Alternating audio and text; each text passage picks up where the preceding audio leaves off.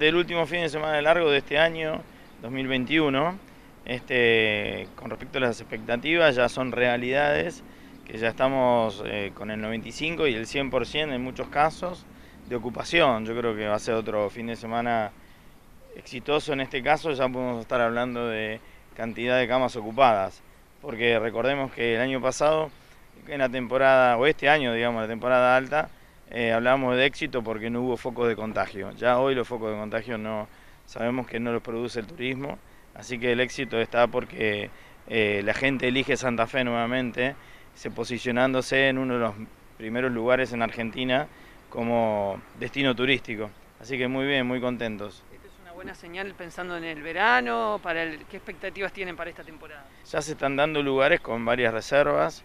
Este, yo creo que no debemos estar tranquilos los que queremos disfrutar de los corredores santafesinos, de esperar a último momento para pedir lugar. Así que consejo, eh, vayan llamando donde quieran ir, porque es probable que haya lugares que ya queden poco, poquitos lugares. No quiere decir que no haya, hay lugares, pero estemos este, celeros con eso, ¿no?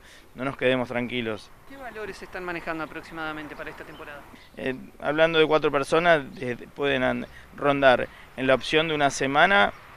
Yo creo que hay lugares de 24 mil, por supuesto, hasta 42 mil, 50 mil pesos o más. Y después de cinco días, podemos estar hablando que puede haber opciones de 18, 19 mil pesos hasta 40.